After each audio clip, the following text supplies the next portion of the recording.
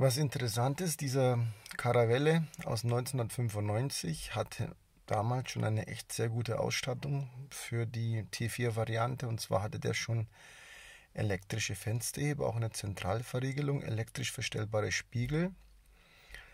Dann eine Besonderheit, der hatte auch schon Klimaanlage drin, ist auch seltener bei dem T4. Und Airbags. ABS ist auch drin.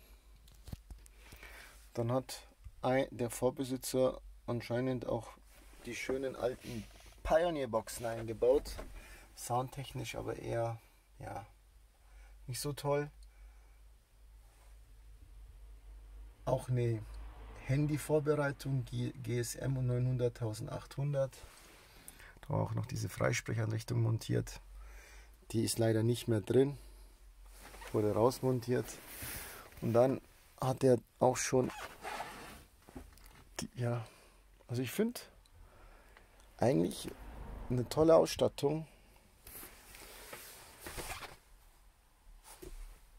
So, meine Lieben.